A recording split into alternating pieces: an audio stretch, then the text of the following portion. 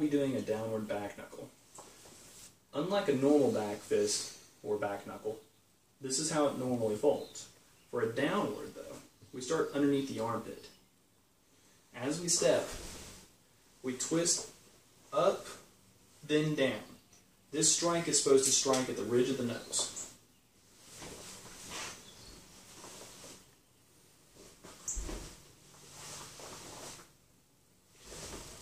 Back stance.